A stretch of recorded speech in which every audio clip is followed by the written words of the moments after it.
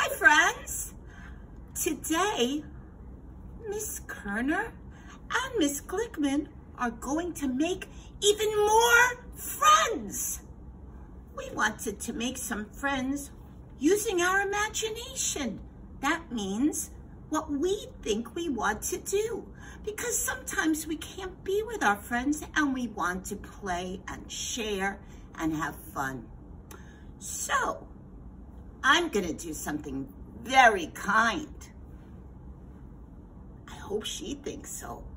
I'm gonna make Miss Glickman a beautiful puppet to be friends with when we're in school because she misses her dogs.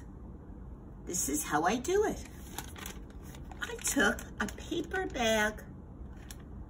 We usually use this when we take our lunch. Today, that's gonna be the body of our puppet. And I used all these different colored papers. You see, there's pieces missing. It doesn't look like this one because I cut it. I use this scissor, but you'll use a kid scissor just to keep safe because we care about you.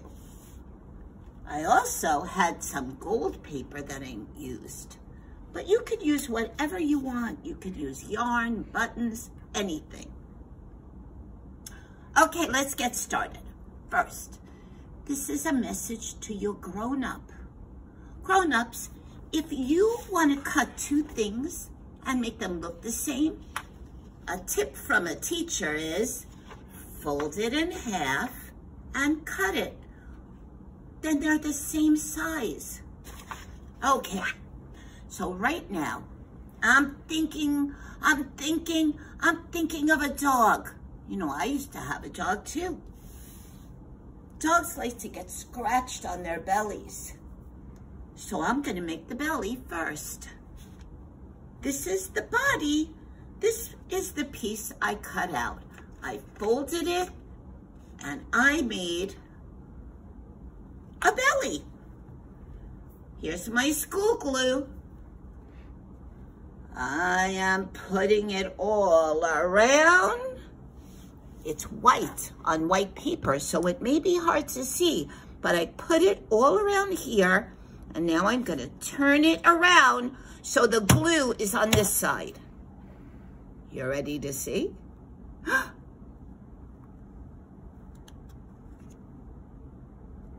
think it went this way. Or did it go this way? Nope, I think this way. If I'm wrong and it looks funny, I'm not gonna press it down and that way I could adjust it or change it a little bit later. Okay. What else? I heard something. Oh, what are these? Ears. Do dogs have ears too? I think they do. So guess what I did? I took black paper and I cut ears. They look pretty similar. That means the same. So it's because I took two pieces and cut it. Now, I put the glue on. Well, this one is easier to see. So we're gonna put it with this part here. It doesn't have to be perfect. It just has to be from you because this isn't made to be perfect. It's made to be fun and made with love. Now I'm gonna put it on this ear. And I do hope it's on the right side, but again, it doesn't have to be perfect. Ha! He's got floppy ears! Look at this. This is gonna be the face. That was the bottom of the bag. But now, it's the puppy's face. What else does a face have? Hmm. Eyes. I see eyes. I made them the same color. But guess what? I wanted to pop so you see it. And that's why Miss Kerner decided she was going to make first the whites in your eyes. Oh, white glue again right on the white. I'll do two of them together. Turn it over. I think eyes would be around here. Right here. That's where my eyes are. Sort of over there. But, how could he see? He doesn't have the color The brown or the black, and sometimes even blue or green. So I got my eyes, and I'm gonna put glue on it. One side, and by the way, if the glue comes here and you see the white, when it dries, it gets clear and you don't see it. So that's okay. Whoop.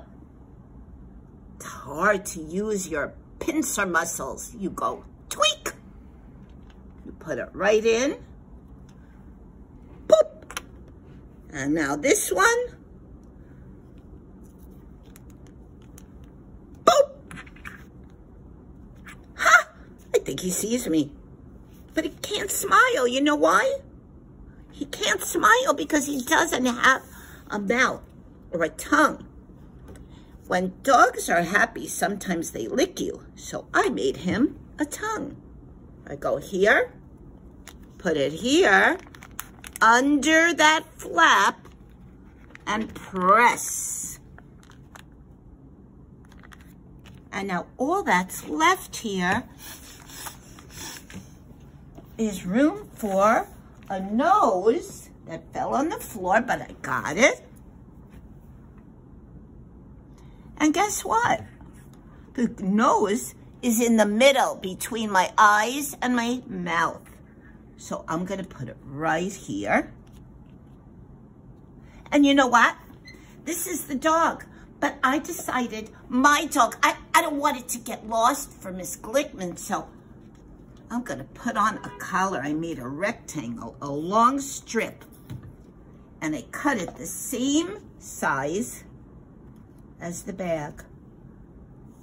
Well, right now it looks like a belt. I don't want it to look like a belt. I want it to look like a leash that you hold.